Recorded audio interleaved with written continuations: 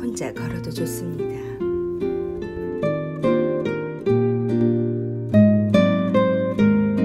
당신이 함께 있다는 걸 느끼니까요.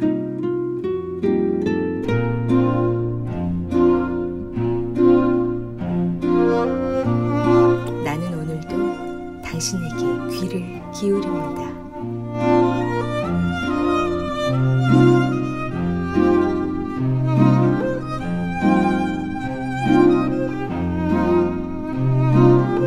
갈대 사이 바람 속에서도 당신의 음성을 들을 수 있습니다.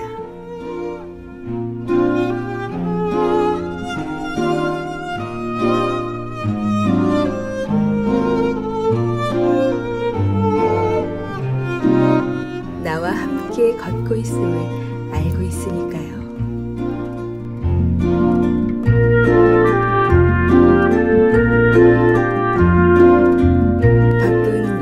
속에서도 나는 언제나 당신의 이야기를 들을 수 있습니다.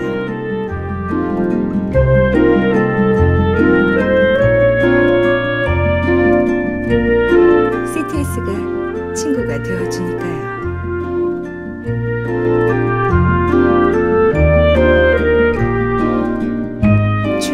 신나는 건 당신을 노래하는 시간이니까요. 늘 주님과 동행하는 방법, CTS.